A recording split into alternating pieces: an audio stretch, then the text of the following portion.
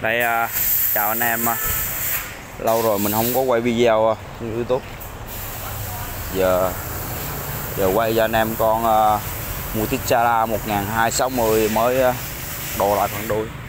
Đây 1260S con này à, anh à, ông anh mới mua bảy trăm mấy triệu. Quá đẹp.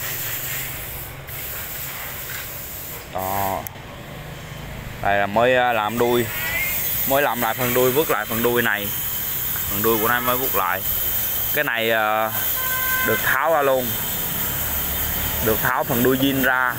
Chế toàn bộ, làm lại hết toàn bộ là phần này. Để mai mốt có gì zin vẫn được vì zin bán xe vẫn được. Chứ không à, có hư hại gì tới đồ zin hết.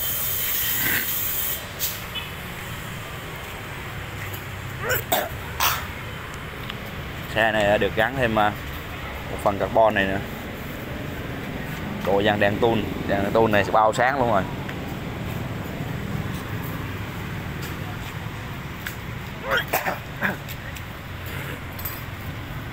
Đó cái cái trước cái con này rất là đẹp. Mỏ trước giống như ờ, con chim vậy đó, đó.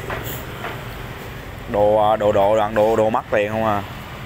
Đồ bát trợ lực giống Ducati này này bán ba lô đồ Ducati của Ducati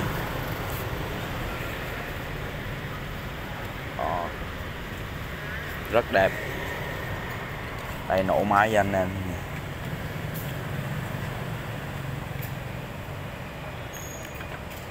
Đó. rất là đẹp nha anh em. Đây đề máy này